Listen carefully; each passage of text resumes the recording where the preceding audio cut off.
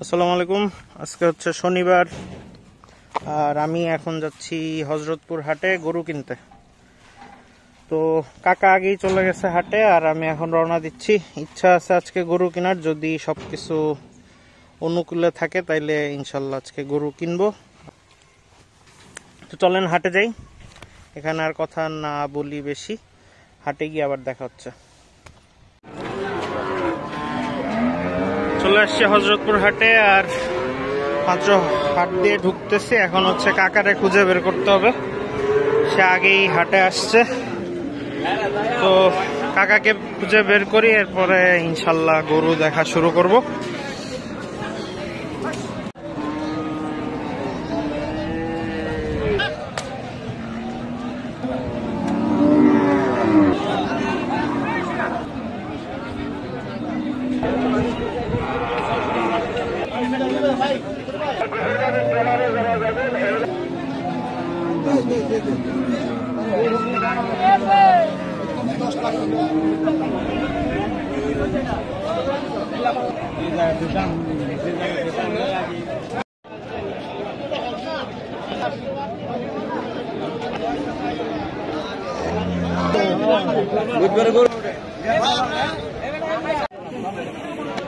চলে আসছি একদম হাটের ভিতরে, আর এটা হচ্ছে হাটের পিক আওয়ার এখন সবাই কেনাবেচা করতেছে।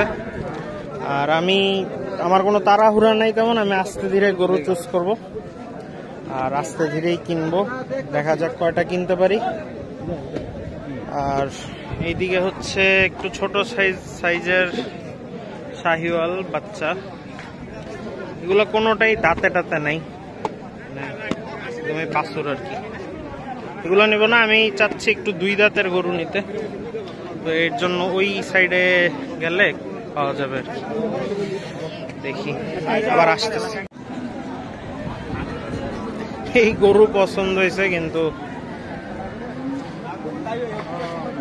কত দিয়ে কিনবো আর কত দিয়ে বেচবো বুঝতেছি না। হিউজ যেই জাতি হোক মানে জোস। মানে কুচটা দেখে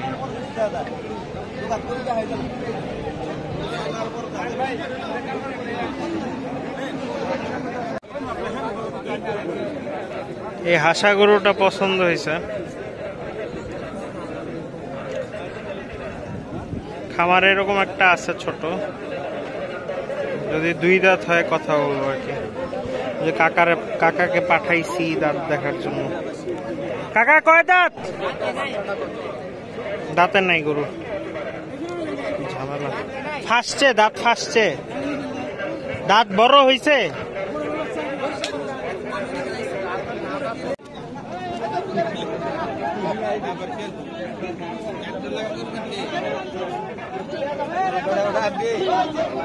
কত কাকা কত সত্তর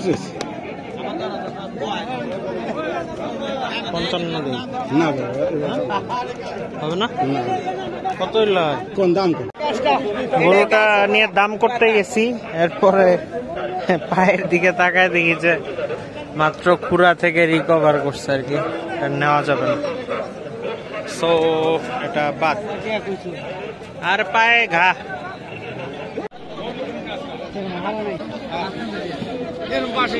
তো দাম বেশি চাইতেছে, এক লাখ পনেরো চাইলো দেখি। দেখা যাক। হ্যাঁ ধরে দেন, সব দেখলেন? হ্যাঁ দেন আর দিবেন এই জায়গায় হ্যাঁ যা এটা পছন্দ হয়েছে তো এক লাখ পঁচিশ হাজার চাইতেছে এই কাকা। তোমার বুড়ি না?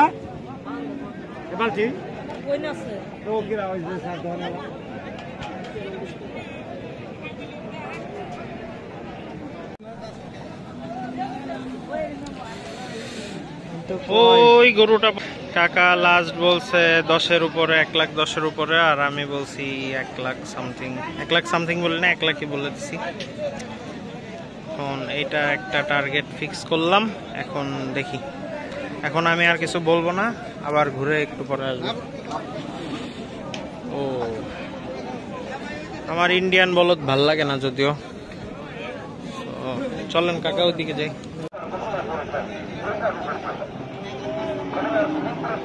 এটা পছন্দ হয়েছে কালোটা। দুই দাঁত।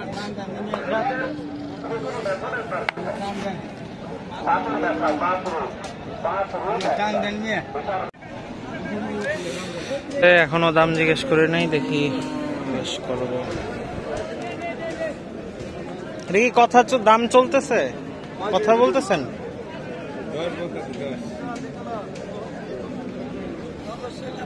কত চায়? তিরিশ।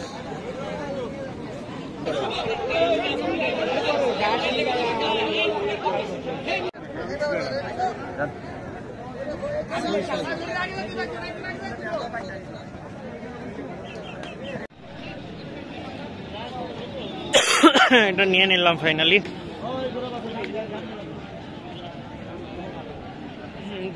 ততক্ষণে মাত্র একটা গরু কিনছি দেখা যাক আরও কয়টা কিনি দেখি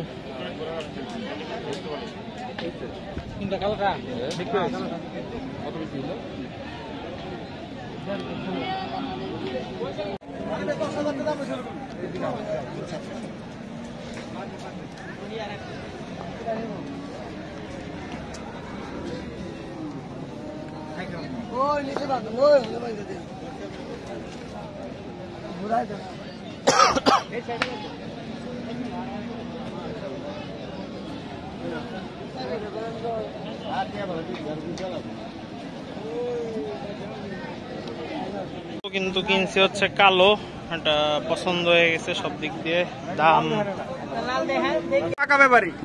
এটা পছন্দ হয়েছে হয় দুই দাঁত। চাইতেছে হচ্ছে আটানব্বই। তো দেখি এখন দামাদামি নিছেন? ভালো লাগলে আবার আমার কাছে এসে নিতে ঠিক আছে। যে ওটা খাই কি রকম এরকম আপনি ভালো জানবেন। এই যে এটা নেওয়া হয়ে গেছে। তিন নাম্বার গরু ডান। তিন নাম্বার গরু ডান এখানে অনেক হাউকাও হাউকাও চলতেছে। আলহামদুলিল্লাহ।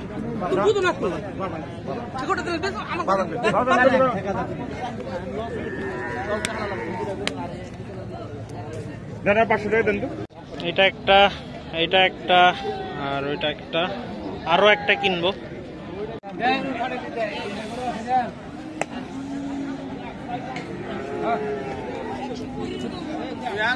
এটা কার?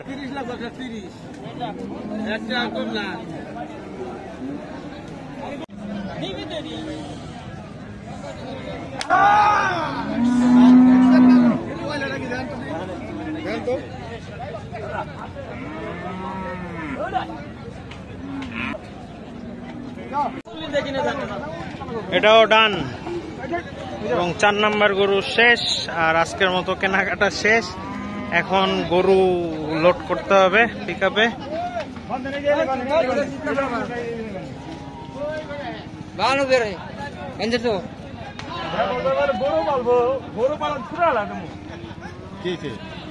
এই যে গরু একটা দুইটা তিনটা চারটা।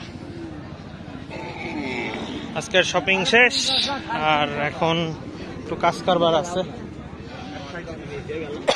পিক আপে উঠায় তারপরে চারটে কেমনে দিবি? পাতালে করে দিবি। হ্যাঁ দিব তো। পিক আপ চলে আসছে। জোহরের পরে হাটে ঢুকে এখন পাঁচটা একচল্লিশ বাজে এখন হাট থেকে বেরোচ্ছি যদিও কাজ শেষ হয় নাই আমি মাত্র হাসিল করলাম। প্রচুর টাকা হাসিল লাগছে এগারো হাজার টাকার মতো। কিন্তু তারপরেও ইটস গুড কারণ আমার ফার্ম এখান থেকে কাছে। রিস্ক নাই তেমন কারণ রাজশাহী দিনাজপুর থেকে আনলে প্রচুর রাত হয় সারা রাত গাড়িতে বসে থাকা আমার যে কাকা আছে, ওনারও কষ্ট হয়। আমার কষ্টের কথা আমি বাদই দিলাম। যাওয়ার ভাড়া আছে মানে সব মিলে অনেক হ্যাসেল তো এখানে যদি কিছু টাকা বেশিও লাগে, তাও আমি মনে করি সেফ অ্যান্ড ভালো আর কি। আর গরু, আলহামদুলিল্লাহ মোটামুটি আমি যেরকম আশা করছিলাম, সেরকমই কিনতে পারছি, আলহামদুলিল্লাহ। আর হচ্ছে এখন গরু পিক ঠিক হয়ে গেছে। আমি কিনে নেই তো পিক ঠিক হয়েছে আর আমি এখন যাচ্ছি আমার বাইক পার্কিং এ রাখছিলাম। এখানে রাখার ভালো জায়গা আছে। এখন হচ্ছে যে, আরে এটা কি পাহাড়ের মতো? যাই হোক, এখন হচ্ছে আমি বাইকটা নিয়ে আসতেছি এখানে, আর বাইক রাখার টাইমও বোধহয় শেষ। ওইখান থেকে বাইকটা নিয়ে এসে তারপরে গরু পিক আপে উঠাবো। তারপরে আর কি রওনা দিব ফার্মের দিকে। তো এখন অনেক টায়ার্ড আজকে আর ভিডিও করলাম না। শুধু গরু নামানোর পরে একটু দেখাইতে পারি।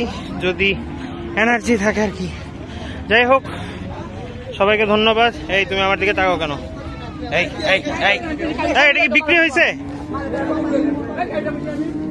হিউজ যাই হোক এখন আমি বাইকটা নিয়ে আগে যাই। তারপরে ফার্মে যাই আগে তারপরে কথা বলছি। টাটা। বাই।